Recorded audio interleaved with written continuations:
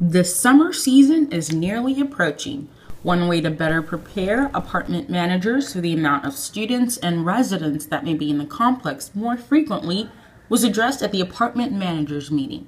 The meeting was mandatory for all apartment managers in the area, so naturally it was a packed house.